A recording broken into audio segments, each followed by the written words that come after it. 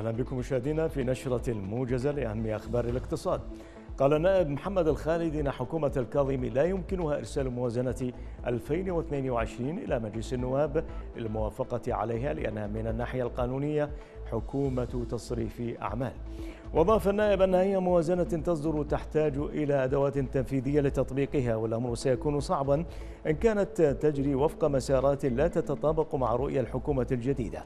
مؤكدا ضرورة اعتماد أطر الصرف المعروفة لإدارة أمور الدولة وصرف الرواتب حتى تشكيل الحكومة لأن ملف الموازنة معقد إذا لم تشكل حكومة في الأشهر المقبلة.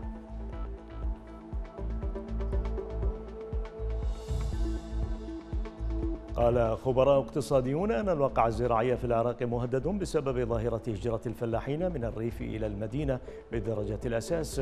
أضاف الخبراء أن الحكومة مطالبة بإقرار خطط استراتيجية بعيدة المدى وعدم الاكتفاء بالإجراءات الآنية فقط. ويجب أن تركز تلك الخطط على إعادة توطين الفلاح في الريف وهذا الأمر مرهون بتوفير خدمات وبنى أساسية للحياة والزراعة وتوفير التسهيلات لكي يعود الفلاح إلى أرضه حفاظا على الثروة الزراعية للعراق ضمن محاولات التنصل من المسؤولية قال المتحدث باسم وزارة الزراعة الحالية حميد النايف إن الوزارة اقترحت زراعة مساحة تبلغ خمسة ملايين دونم لكن وزارة الموارد المائية لم توفر المياه الكافية للمساحة المحددة. وأضاف النايف أن المساحة المخصصة للزراعة في البلاد غير كافية لسد الاحتياج المحلي كما هو الحال في السنوات السابقة مرجحا انخفاض إنتاج المحاصيل إلى نحو ثلاثة ملايين طن منها وهو رقم غير كاف لتجهيز مفردات البطاقة التموينية.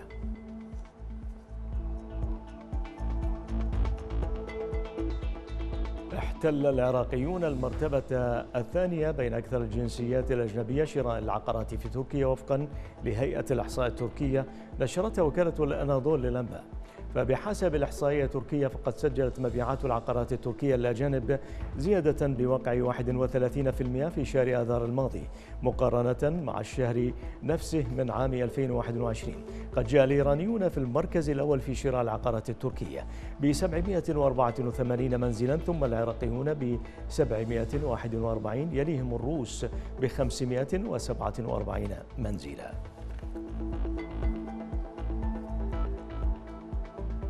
ذكرت شركة تسويق النفط سومو أن أسعار النفط الخام العالمية تأثرت منذ اندلاع الحرب الروسية الأوكرانية.